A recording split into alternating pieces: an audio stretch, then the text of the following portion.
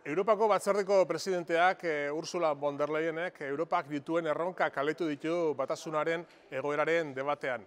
Eh, Next Generation eh, Europar batasuna delakoen funtsen inguruan, bueno, ba, funtsa hauen euneko hogeita mazazpia itun berdearen helburuekin lerrokatutako proiektuak eta euneko hogeia digitalizazioarekin zerikusia dituztenenak finantziatuko direla iragarri du argitasuna behar dugu baldintza horien inguruan eta gobernu ezberdinek datozen hilabetetan orkestuko dituzten proiektuek helburu horiekin bat egiten dutela ziurtatzea.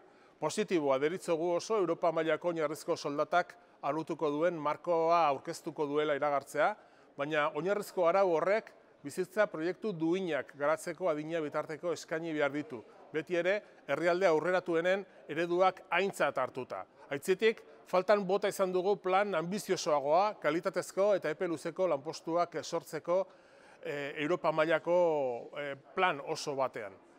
Berri honez ikusi dugu batzardeak 2008 marrerako izurketen helburua euneko berrogeita mabostera egotzeko proposamena, naiz eta zientzilariek euneko irurogeita bosta gomendatu, baina edo kasutan, e, esan behar da horretarako bitarteko lotesleak behar direla. Administrazio guztiek eta enpresan diek zirrikiturik izan ez ezaten helburu horietatik ies egiteko.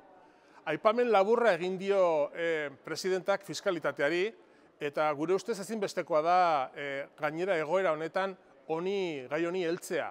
Gehien dutenek gehiago ordendu behar dute, eta Europar batasunean bertako paradisu fiskalekin amaitu behar da. Azken hilabeteotan oso nabarmen gainera aberatsan diek irabazi izugarriak egin dituzte. Eta e, oraingo honetan e, ere krisi hau ezin da langileen kontura e, izan.